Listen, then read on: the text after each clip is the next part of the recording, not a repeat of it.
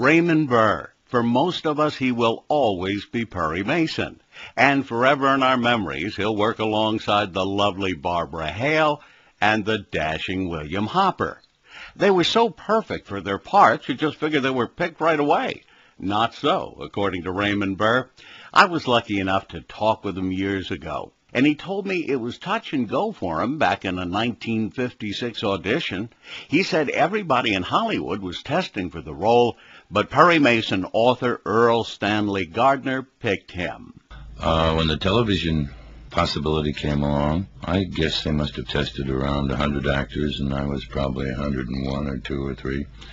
And uh, he decided on me that I was what he wanted in the picture as far as visually is concerned. And it went from there. I stayed with it, and uh, I enjoyed doing it. I've just done a brief Amazon Kindle book on my memories of Raymond Burr and his memories of Perry Mason, including the feeling of family among the folks who worked on the show. We all ended up being very close friends on that show, so we were very fortunate there.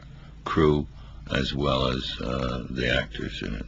In addition to Perry Mason, we talked about some of his B movies like Bride of the Gorilla, the U.S. footage that he shot for Godzilla, and all the years it took him to shed his image as a movie villain. I was pulling away from doing the heavies in live television then, and uh, certainly in motion pictures. You run out of ways of doing heavy after a while.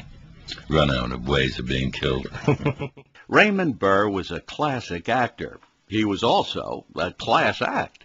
I hope that comes across in the Amazon Kindle book, Remembering Perry Mason with Raymond Burr.